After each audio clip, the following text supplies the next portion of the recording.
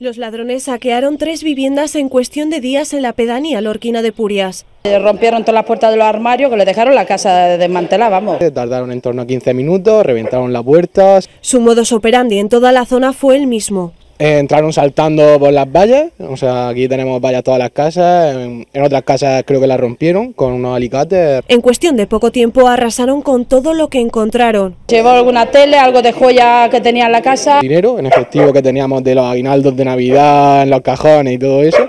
Iban arramblando, iban buscando cosas rápidas que les diese dinero. No esperaron ni a que entrara bien la noche. Que fue en el tramo de 6 de la tarde a 8 o 9 de la, de la noche, a oscurecer. Y es que los ladrones sabían perfectamente el momento en el que las casas estaban vacías. Y que nos tenían vigilados, es decir, eh, están tienen que estar colocados en algún punto, tienen que tener registrados todos los coches de todo el vecindario. Haciendo saltar las alarmas de todos los vecinos. Tenemos el grupo de WhatsApp conectado con la Guardia Civil y la policía, el grupo de todos los vecinos, y enseguida pues saltan las alarmas. Y creando bastante inseguridad en la zona.